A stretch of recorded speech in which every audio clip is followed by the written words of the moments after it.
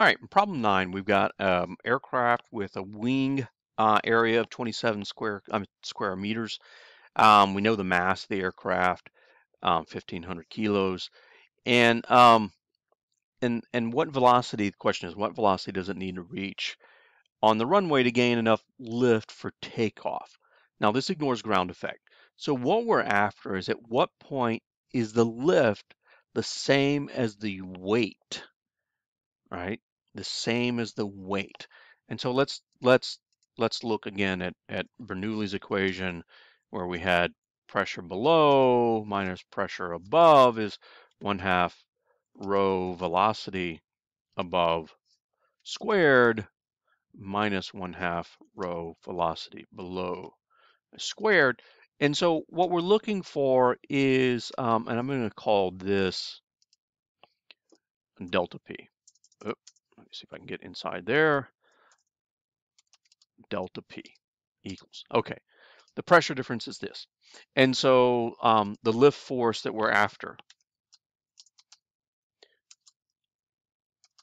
we want that to be delta P times the area of the wing, which just needs to be equal to mg so that you're just at the point where you can lift off.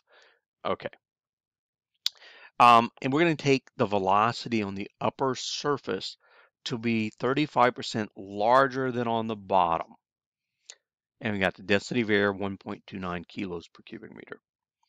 So the question is, how do we get to what velocity do we need, right? And I'm asking for um, what velocity does need, the plane need to reach, right? What velocity does the plane need to reach? And I say take the velocity along the lower surface, VB, to be the same as that of the aircraft.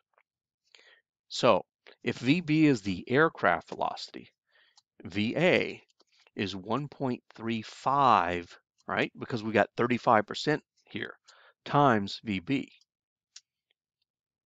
right? Right here, I give you 35%. Um, so 35% greater means 1.35 times VB is how big VA is.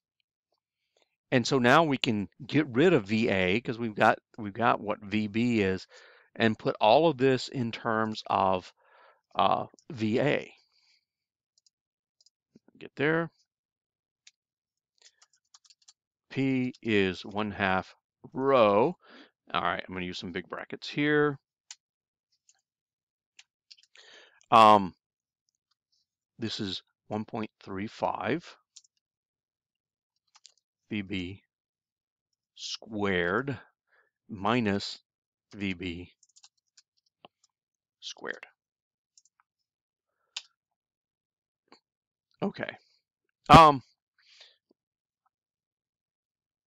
and so you know, and I'm gonna I'm gonna do some algebra, one half rho and we've got in parentheses um, 1.35 squared minus 1 times VB, VB squared. So all I did was I factored out from this, I factored out VB squared because you get 1.35 squared times VB squared minus VB squared. I factored out a VB squared. And so you've got these terms and, and, and that 1.35, remember that 35 comes from right there. All right, so you've got delta P in terms of VB squared. Um, you know delta P is the, the mass, I mean the weight of the plane over A, right? So I could solve this for